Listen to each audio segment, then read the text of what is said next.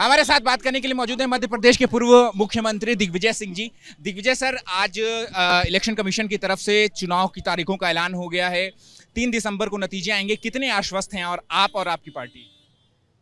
हमें भरोसा है अप्रत्याशित नतीजे कांग्रेस के पक्ष में आएँगे।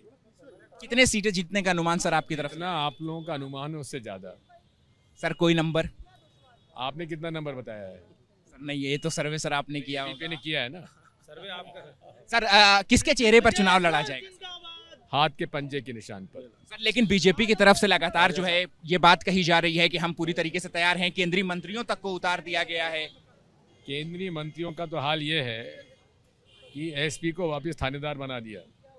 ठीक है, शुक्रिया बात करने के लिए। तो देखिए, ये है दिग्विजय सिंह, जिनका साफ़ तौर पे कहना है कि पूरी तरीके से आश्वस्त हैं वो मध्य प्रदेश में चुनाव को लेकर के और इस यहाँ पर जो है वो कांग्रेस पार्टी की सरकार बनेगी। कैमरा पर्सन संदीप के साथ, अहमद बिलाल, एबीपी न्यूज़ दिल्ली।